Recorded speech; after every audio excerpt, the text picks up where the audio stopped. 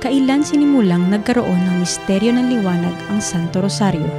Noong ikalabing anim ng Oktubre 2002, si Beato Papa Juan Paulo Ikalawa ay sumulat ng liham apostoliko na pinamagatang Rosarium Virginis Mariae sa Santo Rosario na nagsasaad ng pagdadagdag ng bagong limang misteryo ng Rosario.